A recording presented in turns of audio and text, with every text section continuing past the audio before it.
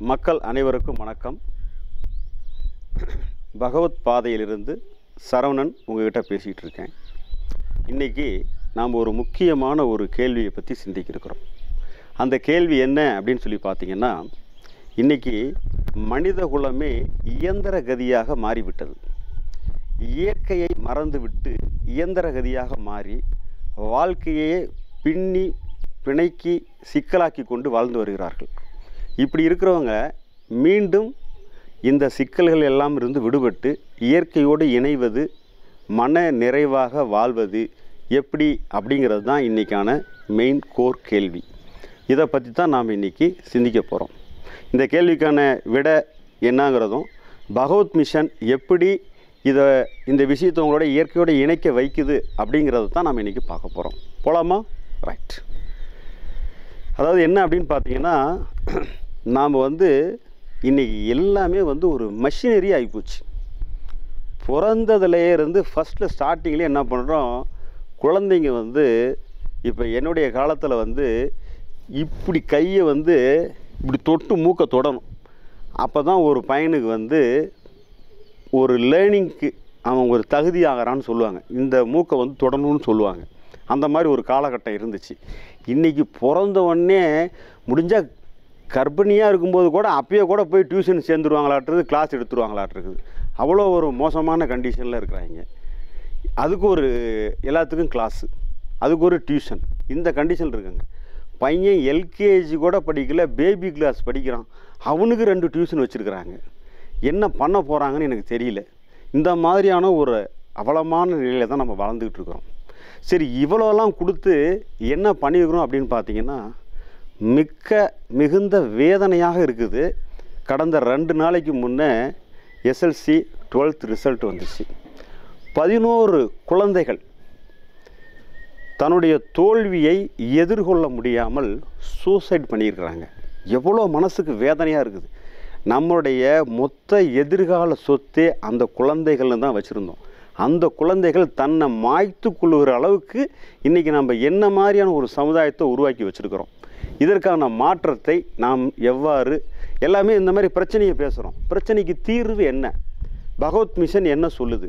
எப்படி இதுக்கான தீர்வுக்கு கொண்டு போகிறோங்கிறது தான் மெயின் கோர் மெசேஜ் இதுக்கு நான் உங்ககிட்ட எப்படி பேசிக்கிறேன்னு சொல்கிறேன் இதில் என்னன்னு பார்த்தீங்கன்னா முதல்ல குழந்தைகளுடைய இன்னசென்ஸ் குழந்தைத்தன்மையை நாம் வந்து எந்த சூழ்நிலையும் அழிக்கக்கூடாது.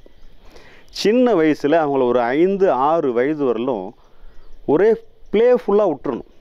நல்ல விளையாட விடணும். விளையாடி கலைக்கணும். படிப்பு கொஞ்சமாக கொடுக்கணும். கிட்டத்தட்ட ஒரு ஏழு எட்டு ஒம்பது வயசு வரலுமே அப்படியே விளையாட்டாலேயே கொண்டு போயிட்டிங்கன்னா அவங்க லைஃபே பார்த்தீங்கன்னா எல்லாத்தையும் ஸ்போர்ட்டிவாக எடுத்துக்கிற தன்மை ஒரு கேமில் வெற்றி தோல்வி எல்லாத்தையும் அவனுக்கு வந்து அதை ஈஸியாக விளையாடணுங்கிற ஆர்வம் தான் இருக்கணும் தவிர வெற்றி தோல்வி முதன்மை பெறாது. அந்த மாதிரி ஒரு மனநிலையை உருவாக்கிட்டோம்னா பிள்ளைகள் வந்து நல்ல ஒரு ஃபார்ம் ஆயிடுவாங்க. அப்போ வந்து ஒரு ஃபெயிலோ எதோ வந்து ஈஸியாக அவன் அக்செப்ட் பண்ணிக்கிற கண்டிஷனுக்கு வருவான். சொல்லிவிடுறாங்க இவன் எ எப்போ? எல்கேஜியோ யூகேஜி படிக்கிற பையன்கிட்ட ஒரு அம்மா சொல்கிறாங்க என் ஒட்டுமொத்த எதிர்காலமே ஒன்றையத்தான்பா நம்பி இருக்குதுங்கிறாங்க. யூகேஜி படிக்கிற பையன்கிட்ட. ரொம்ப வேதனையாக இருக்குது அந்த பையனுக்கு என்னான்னு கூட விவரம் புரியாது. ஒரு பதினஞ்சு பதினாறு வயசு ஆனால் தான் அவங்களுக்கு அறிவே மெச்சூரிட்டி ஆகுது. அவ்வளோ தூரம் வந்து அவன் சொல்கிறான் நான் உன்னை பார்த்துக்கிறேம்மான்னு யார்? யூகேஜி படிக்கிற பையன். இன்றைக்கி நாம் இப்படி தான் சமுதாயத்தை உருவாக்கி வச்சுருக்கிறோம். இதுக்கு மேலே எல்லான்னு கேட்டிங்கன்னா அவங்கவுங்க எல்லோரும் தனித்தனி உலகம் ஆயிட்டோம் அவர் அவங்க செல்ஃபோனு அவங்க விஷயம். இங்கே என்ன நடக்குது ஏது நடக்குது பார்க்குறதுக்கு கூட யாரும் தயாராக இல்லை. இப்படி வந்து எல்லாம் ஒரு இண்டிவிஜுவலாக தனக்கு விருப்பமான மாதிரி இருக்கணும் அப்படிங்கிற மாதிரி ஒரு சுயநலமாக போயிட்டோம். இப்போ வந்து இது இது எதுக்காக ஒரு சம்பவத்தை சொல்கிறேன்னா உங்களுக்கு புரியறதுக்காக ஒரு விஷயத்த சொல்கிறேன் யூஎஸ்ஸை சேர்ந்த ஒரு அன்பர். பேர் மறந்துடுச்சு. அவர் என்ன பண்ணுறாரு கம்ப்யூட்டரில் ஐடி ஃபீல்டில் ஒரு மிக உயர்ந்த பதவியில் இருக்கிறாங்க. அவருக்கு பார்த்தீங்கன்னா இந்த இந்த ஐடி ஃபீல்டில் டீம் லீடர்னு சொல்லுவாங்க இல்லையா? அந்த டீம் லீடர்கள் வந்து அவங்க வந்து என்னங்கன்னா அவருக்கு கீழே ஒரு பத்து பாஞ்சு பேர் வேலை செய்வாங்க. அந்த மாதிரி முந்நூறு டீம் லீடர்களுக்கான ஹெட்டு தான் என்கிட்ட பேசினவர். அவர் என்ன சொல்கிறாரு பதினெட்டு மணி நேரம் வேலை செய்கிறேன் ஒரு நாளைக்கு. எனக்கு வந்து ப்ரெஷர் ப்ரெஷர் ப்ரெஷர் ப்ரெஷர் அப்படிங்கிறாரு. நான் அப்புறம் கேட்டேனாங்கிறாரு எனக்கு வந்து வீடு ஒய்ஃபு பிள்ளைங்க இவங்க கூடலாம் எனக்கு நேரம் செலுத்துறதுக்கு நேரமே கிடையாது. எப்போ பார்த்தாலும் கம்பெனி மீட்டிங்கு detail record submission data entry இதாவது இந்த இதுவே எனக்கு ஃபுல்லாக எங்கேஜாக இருக்குது. எனக்கு நேரமே கிடையாது அப்படின்னு சொல்லி வருத்தப்பட்டார். சரி அப்புறம் கேட்டுட்டு ரெண்டாவது என்ன சொன்னார்? வீட்டில் ஒய்ஃபு பிள்ளைங்கள்லாம் என்னை வந்து நீ என்னை எங்களுக்காக நீ எந்த வேலையுமே செய்கிறதில்ல அப்படின்னு சொல்லி அவங்கள வந்து எங்களுக்கு டைமே கொடுக்கலன்னு அவங்க எங்கள் மேலே வந்து அளவு கடந்த கோவத்துலேயும் வெறுப்புலையும் இருக்கிறாங்க. இதில் நான் எப்படி செய்கிறது அவங்களுக்கு தேவையானதை அப்படின்னு கேட்குறாரு மூணாவது அவருக்கு வந்து ரெண்டு பெண் குழந்தைகள். ஒருவர் காலேஜ் படிக்கிறாங்க இன்னொருத்தர் வந்து செவன்த் ஸ்டாண்டர்ட் படிக்கிறாங்க. இவர் போய் அந்த பொண்ணுக்கிட்ட எப்படியோ எப்படியோ சொல்லிப்பார். அந்த பொண்ணு வந்து இவரை வந்து ரெஸ்பான்ஸே பண்ணுறதில்ல அப்பான்னு நான் எவ்வளோ தூரம் ட்ரை பண்ணி பார்க்குறேன். அந்த பொண்ணு வந்து என்னை வந்து ஒரு ஒரு மதிக்கிறது கூட கிடையாது. பொறுப்பு எடுத்துக்கிறது இல்லை எனக்கு ரொம்ப வேதனையாக இருக்குது அப்படின்னு சொல்லி விடிகாலம் அஞ்சரை மணிக்கு கே கூப்பிட்றாரு.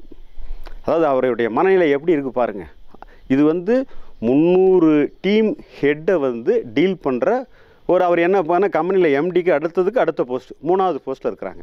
அப்படிப்பட்டவர் இப்படி ஒரு சூழ்நிலையை கேட்டுட்டு இன்னும் உங்களது வீடியோலாம் பார்த்தேன். பகவத் மிஷின் இதெல்லாம் பார்த்தேன். எனக்கு ஓரளவுக்கு புரியுது. இப்போ தான் ஒரு ஒரு வாரமாக தான் பார்த்துக்கிட்டு இருக்கிறேன். நீங்கள் என்னுடைய இந்த பிரச்சனைக்கு என்ன சொல்கிறீங்க அப்படின்னு கேட்டார். நான் அவர்கிட்ட சொன்ன பதிலை தான் இப்போ உங்கள்கிட்ட சொல்ல போகிறேன் பார்க்கலாமா? ரைட் இப்போ நண்பரோட பிரச்சனை என்னன்னு உங்களுக்கு தெரிஞ்சிருச்சு. நான் கேட்டேன் எவ்வளோ நீங்கள் சம்பளம் வாங்குறீங்க? அப்படின்னேன் சம்பளத்தை கேட்டும் பயப்படாதப்பா. சம்பளத்தை பற்றி அவசியம் இல்லை. என்ன சொல்கிறேன் அப்படின்னா நீங்கள் இந்த நல்ல போஸ்டிங்கில் இருக்கிறீங்கன்னா நீங்கள் எவ்வளோ சம்பளம் வாங்குவீங்கன்னு என்னால் நல்லா தெரிஞ்சிக்க முடியுது. உதாரணத்துக்கு நீங்கள் மாதத்துக்கு ஒரு ரெண்டு லட்சம் வாங்குறீங்கன்னு வச்சுக்குவோம். ஒரு பேச்சுக்கு தான் வச்சுக்குவோம். ரெண்டு லட்சம் அப்படின்னா உங்களுக்கு கீழே பதினெட்டு மணி நேரம் வேலை செய்கிறேன்னு சொல்கிறீங்கள ரெண்டு லட்சத்தில் ஒரு முப்பது பர்சன்ட் அறுபதாயிரத்தை எடுத்துருங்க. ஒரு ரெண்டு ஸ்டாப் மூணு ஸ்டாப் உங்களுக்கு வேலைக்கு போட்டுக்குங்க.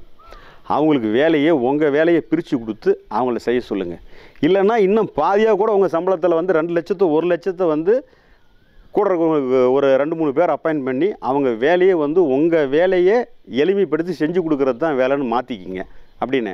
அப்போ வந்து நீங்கள் வந்து பதினெட்டு மணி நேரம் மாடு மாதிரி உழைக்க வேண்டிய அவசியம் இல்லை. அவங்க கொடுக்குறத வாங்கி அசோசியேட் பண்ணி நீங்கள் உங்கள் இதுக்கு கம்பெனிக்கு சப்மிட் பண்ணிங்கன்னா போதும்.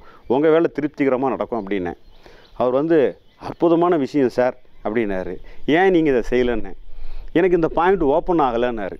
ஏன்னா நீ வேலையவே கட்டி பிடிச்சிக்கிட்டு இருக்கிறதுனால வேலையை தலையில் சுமந்துட்டு இருக்கிறாம தரையிறக்கி வச்சுட்டு அதுக்கு என்ன செய்யணும்னு பார்த்தீங்கன்னா தான் உன்னால் வேலையை ஹேண்டில் பண்ண முடியும்னு. ரொம்பவே ரொம்ப இதாக சொன்னாப்புல. நான் இதாக சொல்கிறேன்னு நினைக்காதீங்க. நான் இவ்வளோலாம் டீம் ஹெட்டாக வச்சு செஞ்சாலும் எனக்கு இப்படி ஒரு சிந்தனை இதுவரையும் வந்ததே இல்லைன்னாரு. அவர்கிட்ட இது சொன்னோடனே எனக்கு ஒரு பெரிய ரிலீஃப் ஆச்சுன்னு ஒரு டைரியில் நோட் பண்ணிவிட்டு ஒரு படம் வரைஞ்சி எனக்கு அமைச்சிருக்கிறார் இதை தானே சொல்கிறீங்கன்னாரு ஆமாப்பா உன் வேலையோடைய இதை வந்து இன்னொருத்தருக்கு ஜாப் ஒர்க் கொடுத்துரு. அவங்க செஞ்சு கொடுக்கட்டும். அதை அசோசியேட் பண்ணி பேசி சிறப்பாக வந்துடும் அப்படின்னு பாயிண்ட் நம்பர் ஒன்று சொல்லிட்டேன். ரெண்டாவது இப்போ உனக்கு வேலை நேரத்தில் பதினெட்டு மணி நேரத்துக்கு பதிலாக மூணு மணி நேரம் ரெண்டு மணி நேரமே எனக்கு போதும் அப்படின்ட்டார். மீதி நேரம் கிடைக்கும்போது ஃபேமிலியோடு போய் ஜாலியாக மகிழ்ச்சியாக சந்தோஷமாக இருந்துட்டு வா அப்படின்னு. நீ அதுக்குன்னு சொல்லி ரிசார்ட்டுக்கு போகிறது பீச்சுக்கு கூப்பிட்டு போகிறது இதுதான் இல்லை. நீ அவங்களுக்கு நேரம் ஒதுக்கி அவங்க என்ன விரும்புகிறாங்க அவங்க உங்ககிட்டருந்து என்ன எதிர்பார்க்குறாங்கன்னு கண்டுபிடிச்சி அதை அவங்களுக்கு செஞ்சின்னா அதுதான் நீ செய்ய வேண்டிய மிக சிறப்பான விஷயம். அதை செய்ப்பா அப்படின்னு சொன்னேன். இல்லை புரிஞ்சிருச்சு. சரி இந்த ரெண்டும் கூட புரியுது. மூணாவதாக இப்போ என்னுடைய கேட்குறேன் என்னுடைய பாப்பா வந்து ஏழாவது படிக்கிற பொண்ணு என்கிட்ட அப்பான்னு ஒரு பாசமே இல்லை. ஒரு அன்பையே வெளிப்படுத்துறது இல்லை இவளை நான் வந்து எப்படி ஹேண்டில் பண்ணுறதுன்னு எனக்கு நீங்கள் சொல்லிக் கொடுங்கன்னாரு. நான் என்ன சொன்னேன்? நீ வந்து முந்நூறு பேருக்கு டீம் ஹெட்டாக இருக்கலாம். எப்போயாச்சும் உங்கள் பொண்ணுக்கிட்ட ஏழாவது படிக்கிற ஒரு பிள்ளைக்கு இருக்கிற மண்ணையிலோட இறங்கி நீ ஒரு நாளாச்சும் பேசியிருக்கிறியா? இல்லை முந்நூறு பேருக்கு டீம் ஹெட்டுங்கிற உன்னுடைய அறிவாளித்தனத்தையே காமிச்சிட்டு இருந்திருக்கிறியா? அப்படின்னு கேட்டேன். உள்ளபடியே சொல்கிற நண்பர்களே அவருக்கு நான் இந்த பாயிண்ட்டு கேட்ட உடனே மனுஷன் அப்படியே சப்சைடாக ஆஃப் ஆகிட்டு கண் தண்ணி விட்டார். நான் ஒரு நாள் கூட அப்படி பண்ணலைங்கன்னாரு. நீ ஏழாவது படிக்கிறேன்னு வச்சுக்கோ. உங்ககிட்ட வந்து ஒரே அறிவாளித்தனமாக கொட்டினா இந்த ஆள் வேறு எப்போ பார்த்தாலும் இப்படி எதையோ ஒன்று பேசிக்கிட்டே இருக்கிறான்னு எரிச்சலாக இருக்குமா? இல்லை அவங்க ஏழாவது படிக்கிற நிலைக்கு இறங்கி நீ ஜாலியாக பேசினா உன்கிட்ட பேசுவாங்களா? அப்படின்னு. உன் அறிவாளித்தனத்தை செருப்பு மாதிரி கழட்டி விட்டுட்டு குழந்தைங்க கூட குழந்தைங்க கூட லெவலுக்கு இறங்கி நீ பேசு. அடுத்தது உங்கள் பிள்ளை நீ ஒடியாந்த உடனே ஓடியாந்து அப்பான்னு ஆசையாக கட்டி பிடிச்சிக்குவா அது வந்து நீ இறங்குனீன்னா அந்த மாற்றம் தன்னால் நடக்கும். இது வந்து உன் கையில் இருக்குது. பிள்ளைங்களை குறை சொல்லாதீங்க. பிள்ளைங்க ஆல்வேஸ் ரைட் மாற்றிக்க வேண்டியது பெற்றோராகிய நமது கடமை தான் நாம் தான் புரிஞ்சுக்கணும். அதாவது பணத்தை சேர்த்து வைக்கிறதுலையே குறியாக இருக்கிறோம். கண்டிப்பாக பணம் மட்டும் இல்லை வாழ்க்கை. நல்லா புரிஞ்சுக்கிங்க. இயற்கையை நேசிங்க. இயற்கையோட ஒன்றிணைங்க. இயற்கையும் நாமும் ஒன்று தானே நேசிக்க தொடங்குனீங்கன்னா பல விஷயங்கள் இந்த மனதை பற்றிய எப்படி செயல்படுதுங்கிற புரிதலை விளங்கிக்குங்க. உங்கள் லைஃபே வந்து இது வந்து ஒரு பெரிய கலை ஆர்ட் இந்த ஆர்ட்டில் நீங்கள் பயணம் பண்ணினீங்க அப்படின்னா உங்கள் லைஃப் வந்து அப்படியே இந்த ஃப்ளோ வித் த ஃப்ளோன்னு சொல்லுவாங்க. அப்படின்னா என்னென்னு கேட்டிங்கன்னா நல்ல ஒரு ஆறு ஓடுதுன்னு வச்சுக்கோங்க. ஆறில் அதையும் எனக்கு பகவத்தையா தான் சொல்லி கொடுத்தாங்க. இந்த கழுத்து இருக்குது பார்த்தீங்களா? அது அப்படி அப்படி லூஸ் விட்டுட்டு அப்படி படுத்தோம் அப்படின்னா தண்ணியில் நம்ம உடம்பு வந்து மிதவை பிரகாரம் தண்ணியோட ஓட்டத்தில் எந்த நம்ம முயற்சி இல்லாமல் அழகாக இழுத்து செல்லப்படும். இது ஒரு சுகமான அனுபவம். அதை போல் வாழ்க்கையோன் இயற்கையான ஓட்டத்தில் நாம் வந்து நம்முடைய மன பிடியை விட்டுட்டோம் அப்படின்னா அந்த flow with the flow natural flow அதில் வந்து நம்ம லைஃப் வந்து ட்ராவல் பண்ணும்போது எப்பேற்பட்ட பிரச்சனையும் ஒன்றும் இல்லாமல் ஈஸியாக கடந்து நம்ம அடுத்தடுத்த நிகழ்வுக்கு வந்துட முடியும். அப்படிப்பட்ட ஒரு அரிய விஷயத்தை தான் பகவத் மிஷர் கற்றுக் கொடுக்குது. மனதின் செயல்பாட்டை புரிஞ்சிக்கிறது தான் நம்ம புரிஞ்சிக்க வேண்டிய கோர் மெசேஜ் அதாவது என்னன்னு கேட்டிங்கன்னா காத்தால் கண் விழிச்சது முதல் கொண்டு நைட்டு படுக்கிறவர்களும் மனசை பயன்படுத்தி தான் அத்தனை செயல்களும் செய்கிறோம் ஆனால் அந்த மனசு எப்படி செயல்படுதுன்னு கேட்டால் நமக்கு தெரியாது. ஒரு கருவி எப்படி செயல்படுதுன்னே தெரியாமல் நீங்கள் எப்படி அந்த இதை வந்து ஹேண்டில் பண்ணுவீங்க? இப்போ ஒரு மிக்ஸி செயல்படணும்னா அது எப்படி மேனுவல் பண்ணணுங்கிற மேனுவல் புக்லெட் இருக்குது. அந்த மாதிரி மனசு எப்படி செயல்படுது அப்படிங்கிற நுட்பம் உங்களுக்கு தெரிஞ்சதுனா தான் மனசை ஈஸியாக எதிர்கொள்ள முடியும். அப்போ உங்கள் லைஃப்பை லீட் பண்ணுறதே வந்து ரொம்ப லகுவாகிடும் முதல்ல நீங்கள் வந்து உங்களோட சண்டை போகிறதுலேருந்து விடுபட்டுருவீங்க. உங்களை நீங்கள் வந்து ஏற்றுக்க துல தொடங்குவீங்க. உங்களை நீங்கள் ஏற்றுக்க தொடங்கி தொடங்கிட்டீங்கன்னா உங்கள் பிரச்சனை சால்வ் உங்களோட நீங்கள் முரண்படுறதுலேருந்து விடுபட்டுருவீங்க. இப்போ உங்களை எப்போ நீங்கள் ஏற்றுக்க தொடங்கிட்டீங்களோ அப்போ எல்லாத்தையும் ஏற்றுக்கக்கூடிய ஒரு இயற்கையான மிகப்பெரிய விரிந்த மனநிலை உங்கள்கிட்ட வந்துடும் அப்போ தான் அதை தான் வந்து நம்ம என்ன சொல்கிறோம் இயற்கையோட ஒன்றா இரண்டரை கலந்துதல். நமக்குன்னு இருக்கிற தனியார ஐடென்டிஃபையை விட்டுட்டு நேச்சரோட நம்மளை வந்து மெர்ஜி பண்ணிக்கிறது. டோட்டல்னஸோட நம்மளை இணைத்து கொள்வது. அப்படிங்கிறத தான் பகவத் மிஷன் உங்களுக்கு ஒரு கலையாக கற்றுத்தருகிறது. வாய்ப்புள்ளவங்க இந்த வகுப்பில் கலந்து கொண்டு உங்கள்கிட்ட இருக்கிற இன்றைக்கி இருக்கிற இந்த மெக்கானிக்கல் தனத்திலேருந்து விடுபட்டு இயற்கையோடு இணைந்து மகிழ்வாக வாழுங்கள்னு சொல்லி அதுக்கான கிளாஸ் வகுப்பை தான் பகவத் மிஷன் செய்து வந்து கலந்துக்குங்க. அரிய வாய்ப்பை பெற்றுக்கொள்ளுங்கன்னு உங்கள்கிட்ட சொல்லிக்கிறேன். நன்றி வணக்கம்.